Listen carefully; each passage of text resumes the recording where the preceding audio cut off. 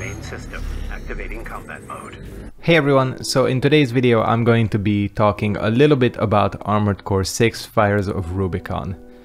I don't think I need to tell you this, but Armored Core 6 is absolutely awesome, and it is a game that I'm currently strongly, strongly recommending to you. I think at this point this game is easily a top 5 contender for me in terms of top games for this year in a year that is already fairly strong with new game releases. It delivers on exactly what I wanted for a new Armored Core game to be, outside of a couple of minor gripes which are really not game breaking or deal breaking, but I will mention.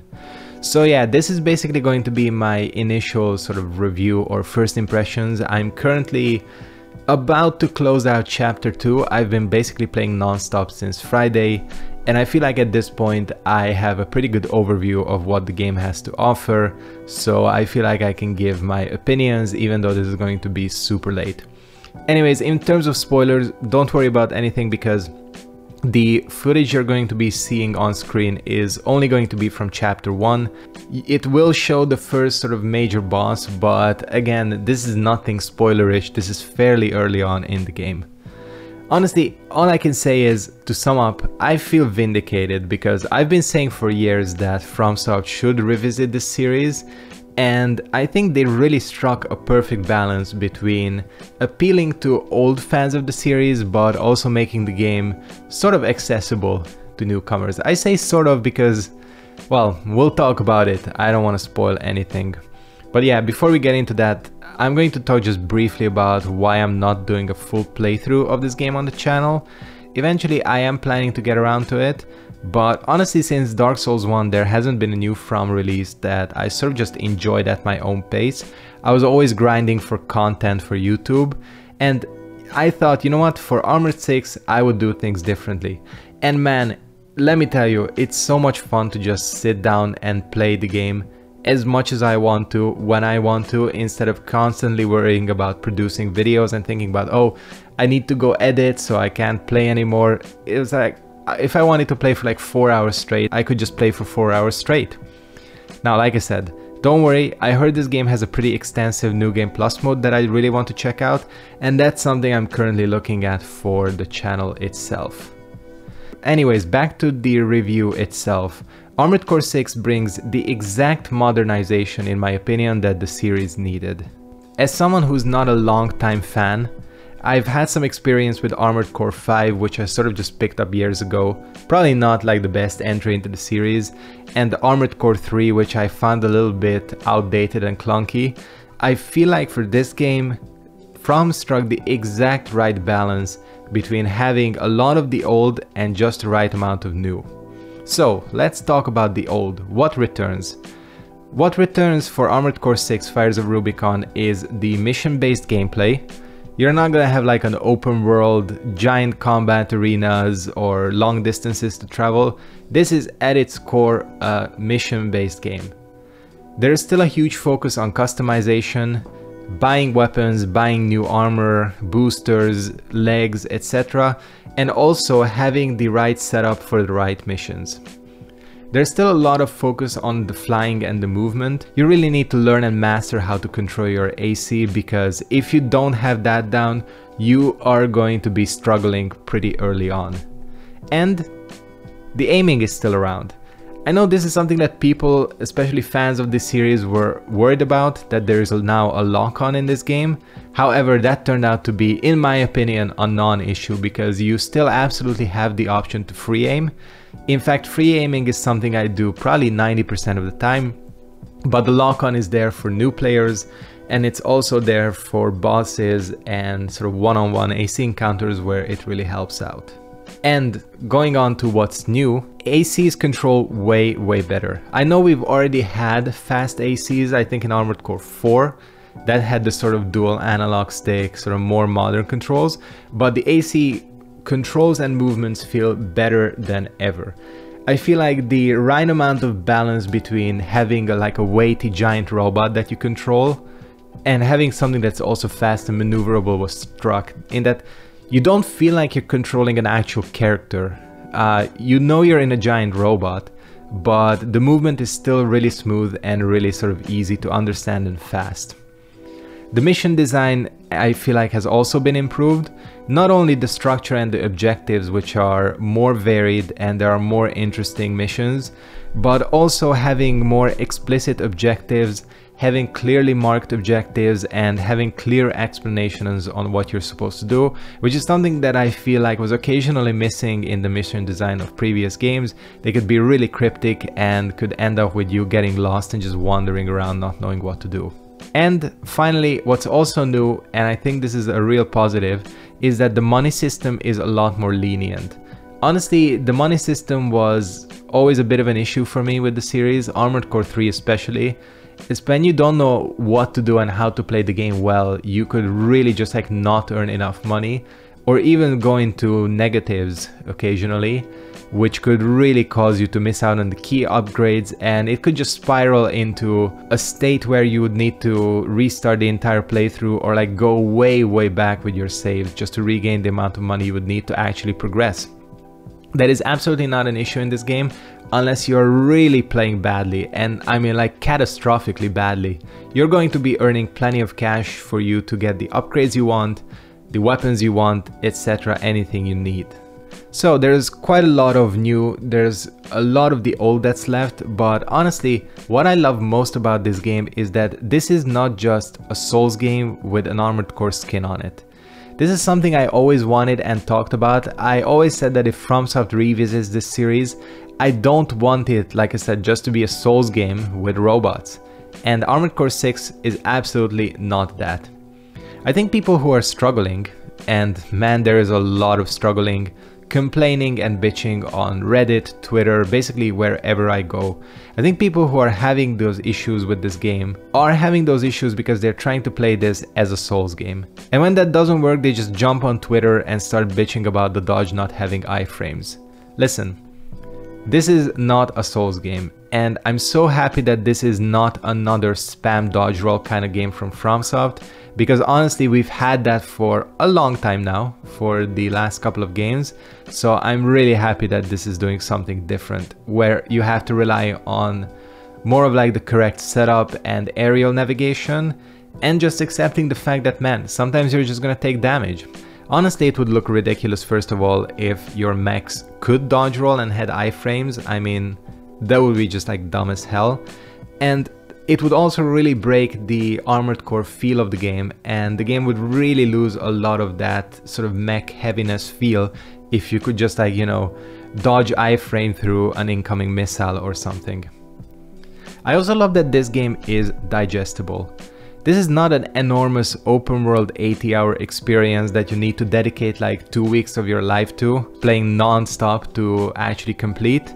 The mission based design really helps that you can sit down, play a couple of games, play for a couple of hours, come back days later and jump back in from where you left off.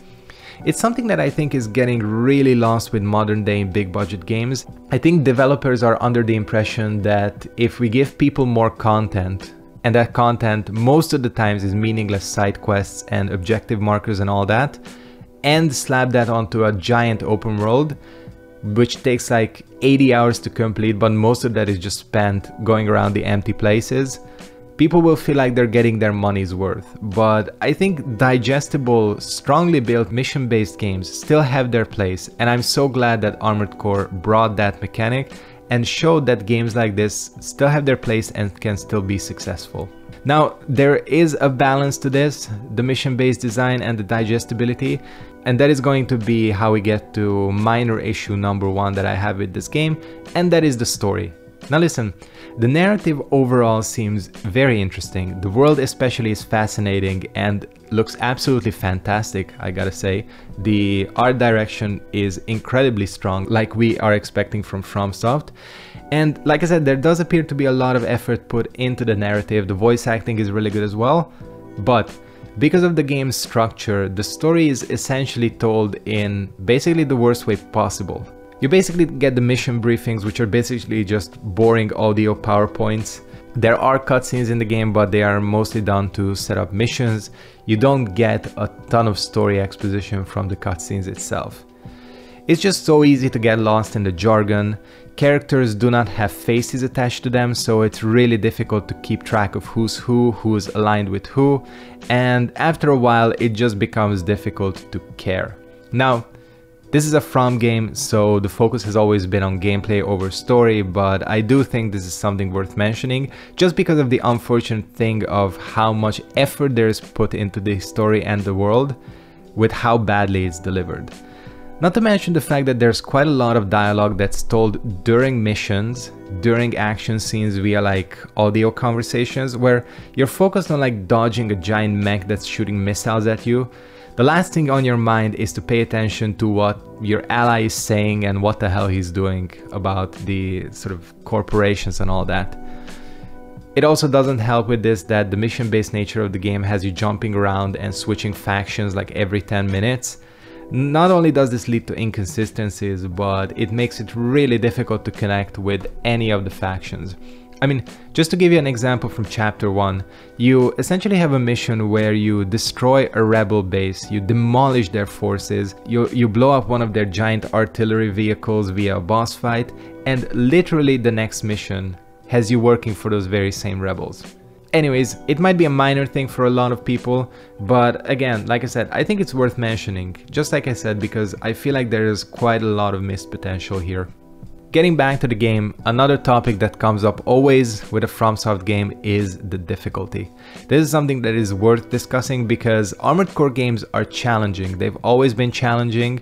I've struggled with them too because they represent a complete different kind of difficulty than a Souls game does. And one of the things that people were speculating is, well, is Armored Core 6 gonna be leaning more towards Souls difficulty or the classic Armored Core difficulty? And honestly, I gotta tell you that outside of a couple of cases, it doesn't really lean into any difficulty. This is minor gripe number two that I have with this game, in that to me, the main missions just seem incredibly easy. This is not a case of, oh well, I'm used to Armored Core or I'm used to Souls games, so I'm just like breezing through this. This is not that. The main missions early on, even into way into chapter 2, are just incredibly easy. I think I can count on one hand how many missions there were that I had to restart. And even then, most of the restarts were just like me being stubborn that there are some missions that are timed and you have to collect a number of things and I just kept restarting to see if I can get like everything in one go. And you know, that difficulty thing is not necessarily a bad thing. Not everything needs to be Elden Ring Malenia levels. But even so, I feel like this is worth mentioning because I know this is something people always focus on and yeah, it's just jarring how easy the game is in terms of the main missions. Now, countering that, and this is the weird thing, and this is where the difficulty overall, which I normally wouldn't mind, becomes an issue, is that the boss fights are just simply incredibly hard. The chapter 1 end boss in particular has a lot of people upset first of all because he seems ridiculous but he only seems ridiculous if you do not know what you are doing. Essentially, this is not a game where you can beat a boss unprepared if you are good enough. In other From games, even if you're caught off guard by like a random boss fight and you don't have the best setup, the best equipment, if you are skilled enough, you can still beat that said boss, maybe even on a couple of attempts. That is basically not going to happen in Armored Core 6. The first chapter boss will genuinely feel impossible, like doing almost zero damage, when his shields are down, like him reg regenerating, doing a ton of damage, is genuinely going to feel near impossible if you don't have the right weapons. The issue with this is twofold. One is I think there could have been a little bit more of a consistent difficulty build-up. That chapter 1 boss is so, so jarring in the truest sense of the word. It really comes out of nowhere and I think it's partially correct that people are a little bit upset because it really feels like the game is throwing something at you that you're not prepared for because there is no consistent build-up. Secondly, the game could do, I think, a little bit better of a job explaining what counters what. There are tutorials in the game, this is explained, but the game doesn't really cover the issue of pulse shields, for example. I had to spend a ton of time tinkering till I basically discovered that the boss's shields are broken really easily with dual-wield machine guns. So what it basically boils down to is it really does feel like the boss is only defeatable with a very specific setup. And if you do not have that setup, you're essentially going to be struggling, which I think goes a little bit against the idea of something being fair and balanced in terms of difficulty because you essentially need something specific. It's like if, you know, Godric the Grafted was only beatable with dual wield long swords and if you didn't have that, the boss would basically be unbeatable. Still, like I said, these are absolutely minor complaints. Even the chapter 1 boss became way easier once I figured out what build I should be rocking, and it's just something you have to think about and tinker with for every single one of the main event bosses. Although related to this, I do gotta bring up one more point. I gotta say it's kind of funny watching some of the people who have been shouting, you know, get good, get good at everyone in the Souls community for the past 6-7 years who cannot beat, I don't know, Malenia naked with a long sword, dodge rolling only, who are now absolutely losing their shit when they can't panic roll spam their way through fights. Anyways, to sum up my thoughts, AC6 is absolutely awesome. I can't, I can't recommend this game enough. It's really one of those special games for me that I will keep coming back to.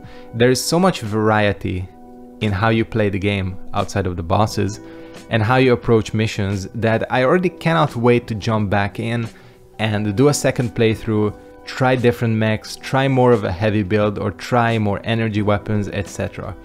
The world is beautiful, the setting is good, the game looks great, feels great to play, and if the above mentioned minor issues are not a deal breaker for you, you will have an absolutely fantastic time. Now, I might do a full review of the game once I finish playthrough 1, but I'm only gonna do that if I have any significant differences in my opinion. I don't think that's gonna be the case, but who knows. For now, just know that whether you're a newcomer or a veteran of the series, you will most likely have a fantastic time with Armored Core 6. Anyways, if you enjoyed this video, as always, make sure to like, comment, subscribe. I'm going to be returning to uploading again full time gonna be jumping back on that. So yeah more videos are on the way. Thanks for watching everyone. Peace out and goodbye